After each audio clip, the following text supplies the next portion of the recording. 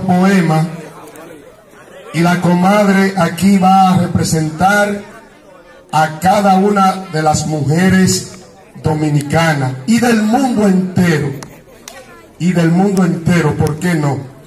En ella se centran cada una de las mujeres en este pequeño poema dedicado especialmente a ti mujer. La palabra mujer, palabra que en su pronunciación es muy corta, pero en verdad es muy grande su significado.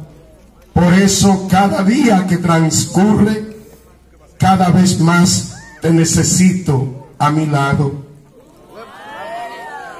Mujer, fuente inagotable de toda inspiración.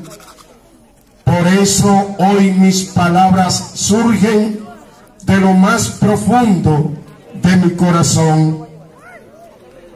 Mujer, hoy y siempre será recordada por ser una mujer sublime, colmada de amor y de nostalgia.